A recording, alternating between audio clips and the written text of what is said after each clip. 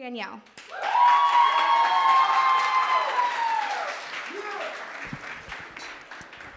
Hello. Um, okay, so before I start, I just want everyone to like just listen to the words that I'm saying because they're important to me, but I'm sure for the ladies at least, we can resonate with this. I could pick a hundred things that I like about myself that I personally don't like about myself, but I can also pick a hundred things that I love about myself and who I am. I don't wear makeup. I don't have long eyelashes or thick eyebrows.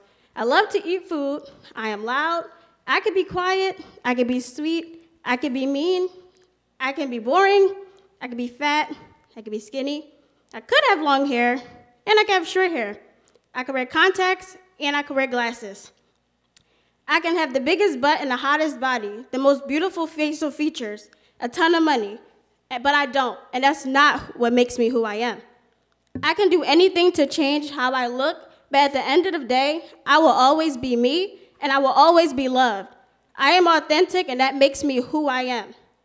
I am not perfect. I never will be. I am perfectly imperfect. What's perfect to you may not be perfect to me. No one can take that away from me. I love who I am, and so, one, so does everyone else who is important to me.